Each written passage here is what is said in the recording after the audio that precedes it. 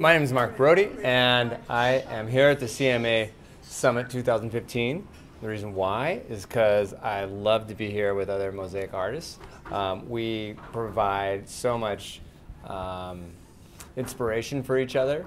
Uh, we, we, we share uh, so willingly with one another our secrets um, and our successes and our failures. Um, and it's, you always go away from these conferences um, feeling like you're ready to take on a new challenge, but knowing that you want to come back for more. So I'm kind of a, a regular with these conferences. There you go. All right.